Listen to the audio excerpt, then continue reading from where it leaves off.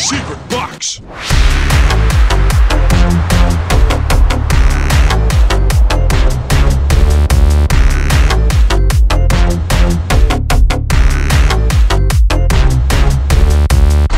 The inner machinations of my mind are.